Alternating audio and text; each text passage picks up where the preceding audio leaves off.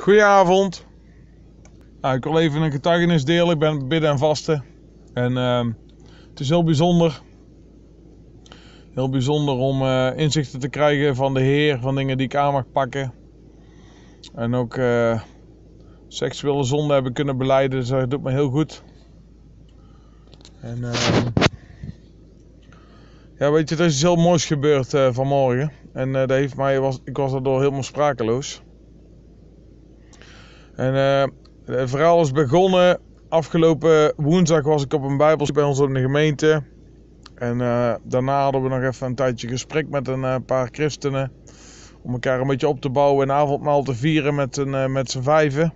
Twee stellen en ik. En ehm, met een van die mensen die daarbij was, die, die vertelde, ja, ging het dan over dat bepaalde strijd soms in mij is. En zij zei, ja, ik heb een boek gelezen, Strijd in je denken, en heeft mij heel veel gebracht. En dat zal jou ook heel veel brengen. Dus ik zeg van, nou, dat is hartstikke mooi. En ehm, ik dacht van, nou, hartstikke bedankt voor de tip. Ik eh, zal het onthouden. Dus ik ging eh, vrijdag naar bidden en vasten en ik dacht aan het boek Strijd eh, in je denken. Ik weet niet voor wie het is, heb ik ook niet gevraagd. Dus ik dacht van, nou goed, ik kijk wel of het daar op de boekentafel, waar heel veel boeken liggen, of het daar misschien ligt. En ehm, ik had er al een keer overheen gekeken, maar ik zag het niet. Ik dacht, ja, is prima. En eh, zondag zag ik een boek liggen, Strijd in je denken, het dagboek. Ik dacht, ja, ik kan me niet voorstellen dat dat is. Maar ik zag wel van, het is van Joyce Meyer. Dus ik kon concluderen, als er een boek is, Strijd in je denken, is van Joyce Meyer. Dus eh, ik had nou al even over de tafel gekeken, ik zag het niet, dacht, het is prima. Gisteren kwam ik dus aan die tafel en toen stond eh, Nori, dat is dan eh, ook een, eh, een, eh, een christen die bij ons in de, die ook op de bidden en vasten is en die bij ons op de groepsaccommodatie slaapt. En ik heb haar vorig jaar ontmoet. Toen gingen we een paar christenen bij ons ook meegereden toen we daar naartoe gingen en hadden we een leuke klik. En zij had het boek in haar hand, het dagboek van eh, Strijd in je denken van eh, Joyce Meyer. Dus ik sta naast haar bij die kassa en ik vraag aan die vrouw, ik zeg, eh, klopt dat er ook een boek van is? Ze zegt ze, ja dat klopt, die heb ik hier liggen, dat is de laatste. Ik zeg, nou, ik zeg, ik, ja, ik wil alleen maar even weten, maar dan weet ik even genoeg. Hè? Want ik heb genoeg boeken, dacht ik bij mezelf, kom wel. Nou, dat boek, dat bleef de hele tijd aan mijn, mijn gedachten hangen.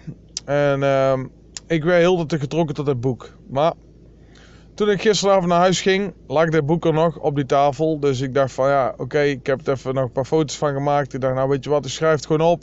Mocht iemand een keer een cadeau van mij willen weten als ik jarig ben of zo, of Sinterklaas, hè, dan kan ik dat boek vragen. Want ik heb al heel veel boeken. En eh, ik ben al in een boek aan het lezen. En het is leuker als ik dan het boek heb gelezen dan een boek aan te schaffen. Ja, goed idee. Ik ga naar, ik ga, naar mijn eh, eh, groepsaccommodatie. Ik, eh, ik ga vanmorgen terug naar bidden en vaste conferentie. En we denken, het boek komt weer in mijn gedachten voorbij. Hè? En het blijft me gewoon weer een strijd in mijn denken. Hè? Ik doe het wel, ik doe het niet. Het ligt, er- als het dan voor mij ligt, dan is het voor mij bestemd. Blad, blad, het gaat allemaal in mijn hoofd rond. En ik dacht van nee, schrijf het gewoon op in mijn telefoon en eh, eh, ik kon wel. Ik kon niet loslaten. Dus, eh, de conferentie is begonnen, worshipmuziek is voor- voorbij, aanbiddingsmuziek is voorbij, lofprijs en aanbidding. En de prik begint. En ik dacht, ik moet, eventjes, ik moet even weglopen. Ik moest even naar, naar, de volruimte lopen. En ik sta in die volruimte en ik, en ik, ik sta in die volruimte en ik denk bij mezelf van... Hé, hey, daar staat Nori. En ik eh, wil naar haar toe lopen en ehm, ik zie van, hé, hey, hey, dat boek is weg, weet je wel. En, eh, en ik zie dat Nori dat boek heeft gekocht. En eh, ze loopt weg en ze zegt, hoi Koen, wat kom je doen? En ik zeg, nou, ik, ik, ik, ik, ik kom hier even naartoe. Toen zei ze, ja, ze zei, ik heb op mijn hart gekregen om dit boek aan jou te geven. Ah, jongen, ik stond gewoon echt met tranen in mijn ogen. Ze zegt, je gaat niet huilen, hè, zei ze. Oh jongen, ik was helemaal sprakeloos. En ehm, die, eh, die vrouw van die, eh, van die kassa die zei... Gisteravond kreeg ze al op haar hart. Weet je wel, was ze daar al met mij over bezig. Weet je, dat, dat ze het op haar hart gekregen om jou te geven. Weet je, dus als je, als je, als je, als je, als je, als je zegen geeft, dan ontvang je ook zegen. Weet je, dat, dat is wat ze zei. En eh, dat was zo ontzettend bijzonder gewoon. eh, ja, dat ik dat gewoon aan mocht nemen van haar. En dat vond ik zo'n mooie getuigenis gewoon om te delen dat dat gebeurd is. Ze zei, ik had eigenlijk in willen pakken en op je bed willen liggen. Dat als je dan vanavond uh, op je, naar je bed ging en je dacht, hé, een cadeautje. Dat het daar dan lag. Maar nu ja, zag je al dat ik het kocht, dus heb ik het nu al gegeven aan jou, weet je. En hoe bijzonder is dat?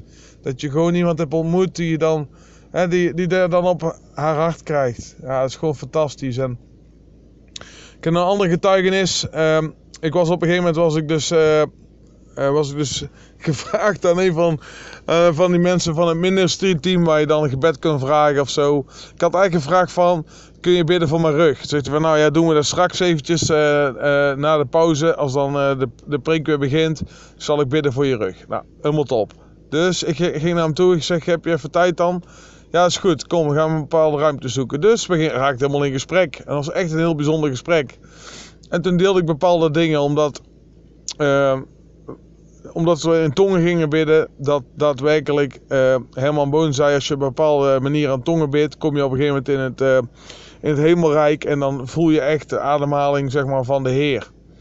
En toen dacht ik, ja, dat zou ik wel heel erg graag willen. Maar toen ben ik op een gegeven moment in gesprek gaan bespreken met, uh, met, met Aad, heet die man.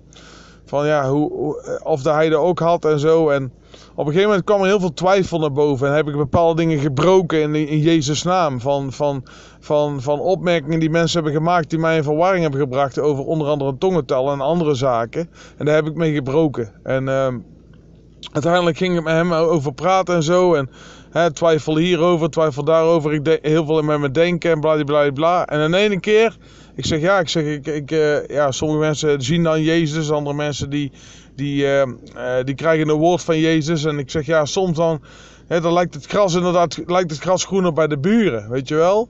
En ik zit daar met hem over in gesprek en in één keer, bam! bam! in mijn hart, jongen, de Heer. Hey, waarom die twijfel, Koen? Kijk hier eens naar. En ineens zag ik allerlei mensen die ik weet te bemoedigen in mijn directe omgeving, die ook christen zijn, collega's, mensen van andere christelijke gemeentes die mij bedanken van, wow, Koen, je raakt me echt aan. Je bent zo met de Heer bezig. En toen ineens liet de Heer daar maar allemaal zien. Van waarom ben je hier? Waarom stel je deze vraag? Kijk eens wat je allemaal doet, Koen. Oh, wauw, jongen. Ik begon te huilen. Hij zei, uh, wow. Hij zei, vertel. Ja, ik vertelde als hij... En dan zeg jij tegen mij dat je de Heer niet hoort, weet je wel? Dat is de, hoe de Heer met jou praat. Dan legt het op je hart, weet je wel? En dat was heel bijzonder. Toen ging hij voor mij bidden en toen zei hij... Ja, toen ging hij voor mij bidden, dat was heel mooi. En toen uh, waren we klaar en ik zeg van ja, dan heb jij niet gebeden voor waarvoor ik kwam. Hij zei, waar kwam je voor dan? Ik zeg, voor mijn onderrug. Toen zei hij van, oh. Hij zei, dan hadden we niet speciaal naar deze ruimte hoeven gaan. Toen zei ik van, nou, ik zeg, ik ben blij dat je het verkeerd begrepen hebt. Want anders had ik dit gesprek helemaal nooit gehad met jou. En toen zei hij ook van, ja, weet je, dus, dat moest dan zo zijn, weet je wel. Dat moet dan zo zijn, dat kan niet anders. Ja, dat zijn gewoon hele mooie dingen, weet je. Dat zijn echt hele mooie dingen. En uh, ik ben gewoon heel erg dankbaar. Ik ben echt heel erg dankbaar voor, uh, voor weer datgene wat ik hier meemaak. Ik merk wel aan mezelf dat ik denk, pff, het is pas dinsdag. En heeft er niet zozeer mee te maken dat ik het, dat ik het, dat ik het niet volgehouden, weet je wel. Maar als je dan, ik vind die stoelen niet helemaal lekker zitten. Dat is wel heel erg belangrijk. En ik ben best wel moe middags soms van alle informatie die ik krijg. Want je krijgt de hele tijd onderwijs continu onderwijs.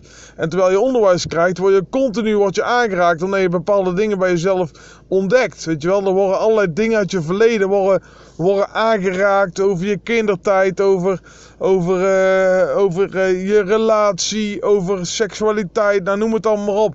Dus er zijn allemaal dingen waarvoor je ook emoties loslaat en waardoor je pijn ervaart. Weet je? Dus dat kost gewoon ook heel veel energie. Maar ik ben wel zo blij dat ik hier nu ben. Weet je wel, ik ben oh zo blij dat ik hier nu ben. En uh, ja, ik heb hele mooie dingen op mijn hart gekregen. En uh, ja, die ben ik nu aan het uitwerken. Weet je wel, en dat is heel mooi. En uh, ik uh, wens je een uh, gezegende. Ik ben dankbaar dat ik dit mag delen met je. Ik wens je een gezegende dag toe. Een fijne avond toe. En ehm, het allerbeste. Love you.